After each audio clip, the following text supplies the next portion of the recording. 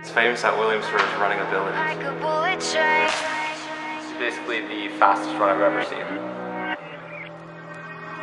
Moving like the speed of sound. When he runs, most people on the track stop to watch Feet can keep on the ground. because he runs like the wind.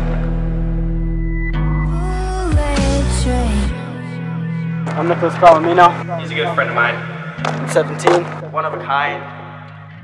And I run. Not afraid to stand out. A friend. Track star 2014 offset medalist in the 100 meter. He's really passionate for the things he loves. He is the fastest guy I know. He is the definition of speed.